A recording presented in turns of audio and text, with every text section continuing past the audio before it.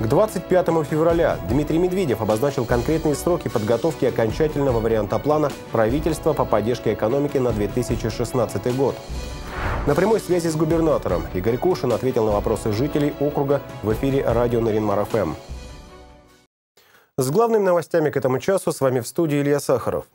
Окончательный вариант плана правительства по поддержке экономики на 2016 год должен быть подготовлен к 25 февраля. Такое распоряжение сделал премьер-министр Дмитрий Медведев по итогам рассмотрения представленной на заседании Кабинета министров версии документа. Министерство экономического развития вносило четыре версии, до последнего министерство и ведомство согласовывали, какие меры поддержки экономики должны быть безоговорочно предприняты, а какие можно оставить в резерве до тех пор, пока не появятся дополнительные ресурсы. То, что те или иные мероприятия вошли в план и под них найдено финансирование, это не повод расслабляться, подчеркнул Медведев. Сейчас средства на все не хватает, и Кабинет министров стремится ввести взвешенную бюджетную политику. Принципиальным моментом плана действий стала поддержка тех отраслей, которые смогут продемонстрировать отдачу. Второй значимый момент касается социальных задач. При этом социальную поддержку правительство стремится сделать более адресной, что добавит ей эффективности. Деньги должны получать те, кто в них действительно нуждается, указал Дмитрий Медведев. Нужно навести в этой сфере порядок, разработать критерии этой нуждаемости. Публичная кампания по определению критериев нуждаемости стартовала и в Ненецком округе. Соответствующее поручение дал глава региона Игорь Кошин. «Мы должны определить критерии и принципы нуждаемости», отметил Игорь Кошин. «Для этого мы сейчас начинаем кампанию по общественному обсуждению, чтобы всем вместе определить данные критерии». Две трети пунктов антикризисного плана – это системные меры, и от того, насколько грамотно удастся их реализовать, зависит будущее состояние экономики и благополучие граждан. Одной из мер поддержки семей в антикризисном плане стал пункт об ежемесячном использовании материнского капитала семьями, которым он положен. Об этом заявил министр труда и социальной защиты Российской Федерации Максим Топилин. Также министр рассказал, что на поддержку региональных рынков труда в этом году могут потратить 10 миллиардов рублей. 3 миллиарда будет выделено и 7 миллиардов – это резерв. Также он отметил, что зарезервировано дополнительно 5,5 миллиардов рублей на пособие по безработице, если вдруг она будет расти быстрее, чем спрогнозировано. Сейчас на эти пособия запланирован 41 миллиард рублей с учетом текущего уровня регистрируемой безработицы. Еще 6,5 миллиардов рублей будет выделено регионам на детскую оздоровительную кампанию. Эта сумма будет израсходована на организацию отдыха для детей, оказавшихся в трудной жизненной ситуации. На эти средства смогут отдохнуть дополнительно 275 тысяч детей. Ненецкий округ в 2016 году на санаторно-курортное лечение направит свыше одной тысячи жителей округа. На очереди для получения бесплатных путевок мать и дитя состоят 541 ребенок и 464 их законных представителя. Отделение социальной защиты населения планирует направить в оздоровительные учреждения Черноморского побережья 880 человек, в Кавказские минеральные воды 83 человека и в среднюю полосу России 42. В санатории «Юность» города Ессентуки стоимость одной путевки составила 46 200 рублей, что соответствует уровню прошлого года. Первые семьи смогут отправиться на санаторно-курортное лечение уже в апреле месяце. О приоритетах социальной политики, непростых решениях в условиях дефицитного бюджета и точках роста, а также проблемных вопросах округа глава региона Игорь Кошин говорил в ходе прямой линии с жителями округа. Будут ли сохранены льготы, решится ли проблема с трудоустройством граждан, строительством жилья и школ. Эти темы стали ключевыми. В течение часа Игорь Кошин ответил на 18 вопросов, поступивших в прямой эфир от жителей НАО. Их волновали проблемы, связанные с трудоустройством, расселением из ветхого и аварийного жилья, строительством новых социальных объектов, жилья для сирот и другие. Звонки поступили из Наринмара, Оксина и Нельминоса. Один из первых дозвонившихся, житель Оксина, интересовался, когда в селе пройдет газификация. В прошлом году были завершены изыскания, и в этом году было, кстати, информационное сообщение э, в наших СМИ.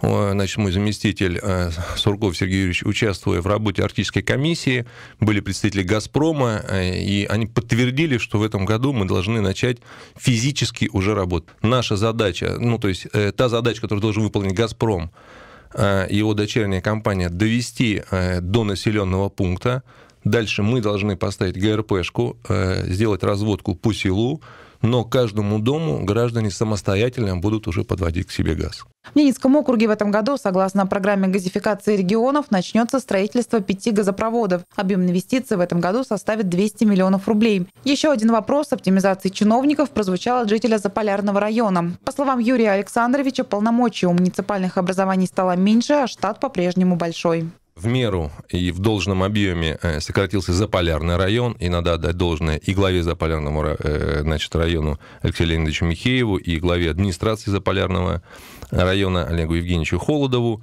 По городу, ну, это отдельная э, история, там пока сокращения нет, и город сегодня тратит значительные финансовые ресурсы на собственное содержание. Что касается наших поселений, это местное самоуправление. На самом деле сокращаться должны, и я значит, предложил это сделать главам наших поселений, но решения должны принимать непосредственно депутаты ваших поселений. Еще один вопрос затронул тему здравоохранения. Отсутствие врача-аллерголога стало настоящей проблемой для жительницы Наринмара, страдающей астмой. В Искателе был до Нового года, сейчас и там нет. А в Наринмаре его вообще не было в городе.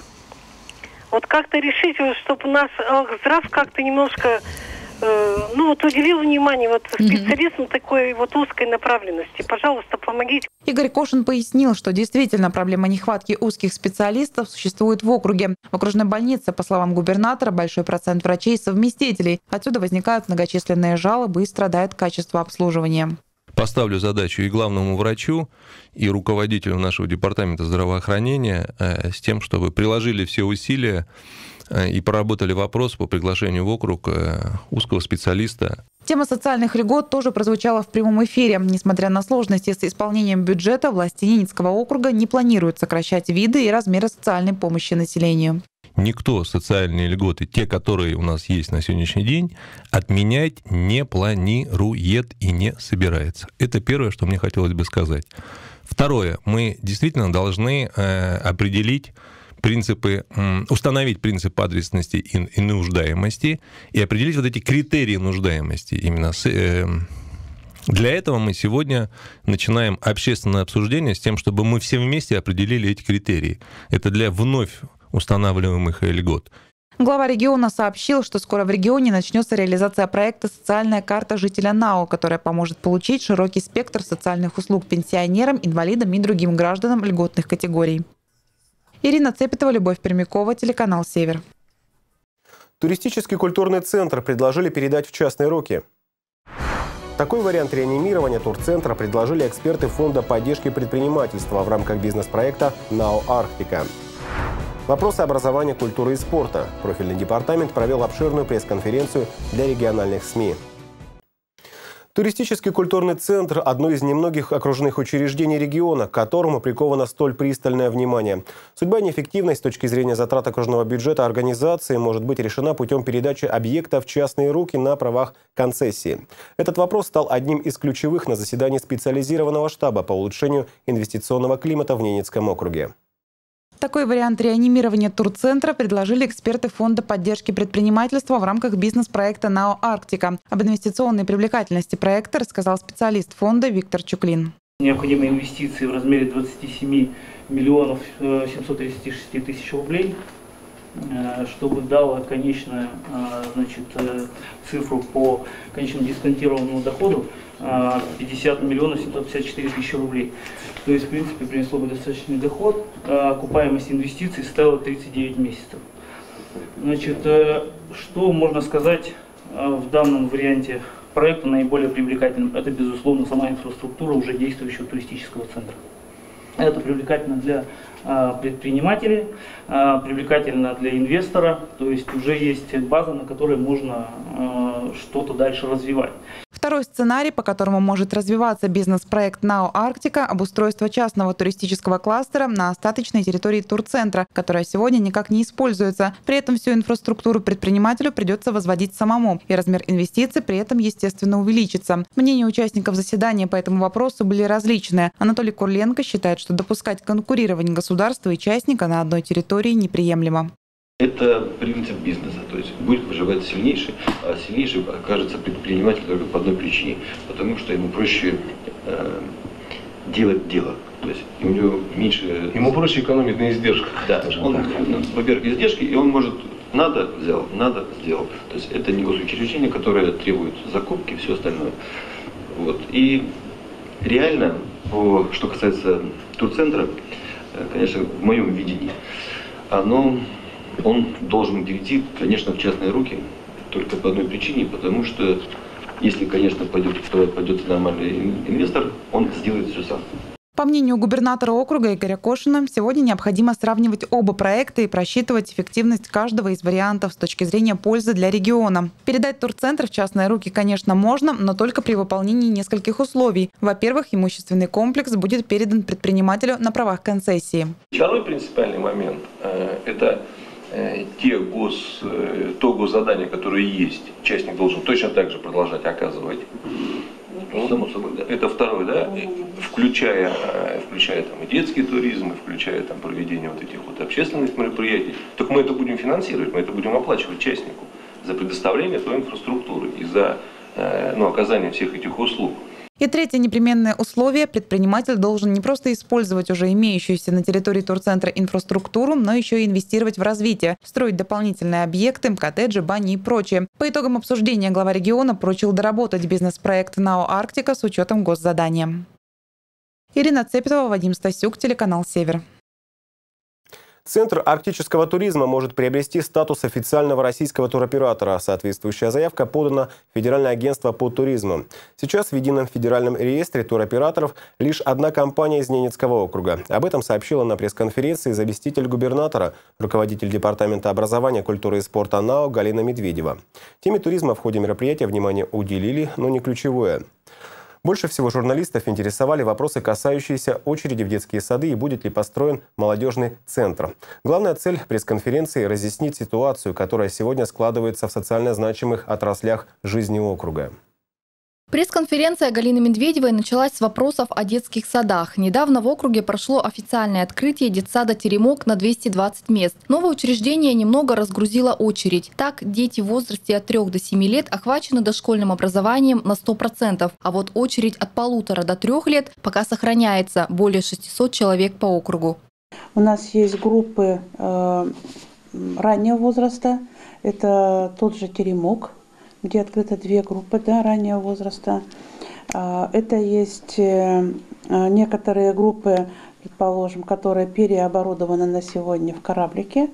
А, это есть группы кратковременного пребывания, когда родители могут привести до обеда, предположим, или наоборот, после обеда. Руководитель департамента отметила необходимость создания новых детских садов. В бюджете 2016 года заложены средства на возведение сразу нескольких объектов. В районе авиаторов, на улице Ленина, в поселке Искателей, Неси, Харуте, Бугрино, пришкольный интернат в Каратайке. Кроме того, предусмотрено строительство школ в Неси, Харуте, в поселке Искателей и в районе авиаторов. Что касается молодежного центра, школы искусств и городского дома детского творчества, с ними стоит повременить. Нужна целостная концепция развития дополнительного образования с непременным включением научно-технического творчества. Техническое творчество сегодня можно развивать на базе, предположим, аэропорта техническое творчество можно развивать на мясокомбинате, ну то есть на предприятиях, да, где приобщать э, ребят и показывать определенный э, труд, э, может привлекать к какой-то работе в лабораториях и так далее. Кроме того, это, конечно же, робототехника, которую можно поставить, она сегодня это компьютерная, в основном графика, 3D-технологии и так далее.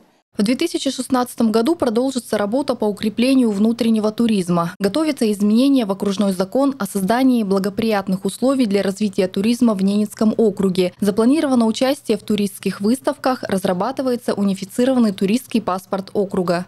Основная задача – это все маршруты, которые мы делаем, включить, во-первых, в реестр – во-вторых, обсчитать их экономически это несомненно. Да, у нас большинство уже просчитано, но никто не говорит, что это окончательные да, ведь маршруты или туры. Обсудили на пресс-конференции и кадровую политику в сфере образования. В 2015 году в округе трудоустроены 35 молодых специалистов. Сегодня остаются свободными вакансии учителей иностранного языка, математики и педагогов-психологов. В течение года будет проведен опрос среди предприятий по вакансиям. В 2016 году на рынок труда выходит более 300 выпускников. Чтобы рабочее место было у каждого, позаботиться об этом нужно заранее. Валентина Чибичек, Александр Дуркин, телеканал «Север». С уклоном в будущее с нового учебного года сельские выпускники девятых классов смогут продолжить обучение по программе полного среднего образования в любой школе Наринмара или поселка Искателей. На выбор ученика 8 направлений, среди которых класс с физико-математическим уклоном или Роснефть-класс. Там готовят будущих инженеров и физиков. Вот видите, я вижу фиолетовый цвет, зеленый цвет, красный цвет. Ну-ка посмотри, поповорачивай, да, и ты увидишь этот спектр. Обычная лабораторная работа по физике теперь настоящее увлечение. Все, что раньше ребята видели только в учебниках, происходит прямо на глазах. Загорается лампочка Ильича, обнаруживаются световые волны. Все явления и процессы, без которых немыслим мир физики, стал доступным и понятным. Благодаря этому мы э, приобрели значит, сотрудничество с Роснефтью приобрели оборудование, вот, например, для наблюдения электрического тока в полупроводниках. Это тоже демонстрационный эксперимент. То есть можно разместить на доске и все показать, соединив между собой приборы и показать, как электрический ток себя ведет в полупроводниках. Очень много демонстрационного а, материала должно быть для таких э, классов, как профильные классы, потому что все-таки это углубленное изучение предмета физики. Три вида оборудования для лабораторных работ – неотъемлемая часть каждого урока. С ним легче понять возникновение звуковых и электромагнитных волн, принцип действия электричества в вакууме. Екатерина на уроках старается не отвлекаться, потому что знает, полученная информация будущему инженеру или нефтянику непременно пригодится. Сейчас мы на самом деле удивились, что все так хорошо получилось. А, потому что до этого мы смотрели как-то, ну, без оборудования это было не, не так видно. А сейчас вот именно сделали, и очень хорошее изображение получилось. И действительно, мне даже очень понравилась лабораторная работа. Помимо физики, математики, химии и информатики, ребята проходят дополнительную довузовскую подготовку и профориентацию. Это знакомство с вузами, экскурсии на производственные объекты Роснефти, встречи со студентами Ухтинского университета. Возможно, кто-то кто-то из 18 учеников 11 Б-класса продолжит образование именно в этом вузе. Роснефть с образовательным учреждением заключили договор, по которому выпускникам профильного класса выделяются целевые места. Так как дается а акцент на физику и на математику, все сюда пришли с, с этими определенными знаниями, которые в дальнейшем им помогут. То есть они целенаправленно поступили в наш класс Роснефть. Согласно статистике социального партнера округа компании «Роснефть», 90% выпускников профильного класса поступают в вузы. К тому же им помогают с прохождением практики, ведь компания присутствует практически в 80 регионах страны. Валентина Чибичек, Роман Делимарский, телеканал «Север». Туристический культурный центр готовит интересную программу на предстоящие праздники. К 23 февраля и 8 марта сотрудники турцентра подготовили для всех желающих квестовые программы семейного отдыха. Провести предстоящие праздники не только весело, но и с для здоровья. Для любителей самого активного отдыха Центр арктического туризма разработал серию снегоходных экскурсий «Увезу тебя в тундру». Уникальные познавательные маршруты позволят посетить такие места, как Сопка Сиера, Пустозерск и некоторые поселки округа. Также 23 февраля и 8 марта сотрудники подготовили для всех желающих квестовые программы семейного отдыха. Квестовые программы «Бойцы за полярье» будут проходить с 21 по 23 и 27-28 февраля. Начало программ в 11, в 13.30 и 15.30.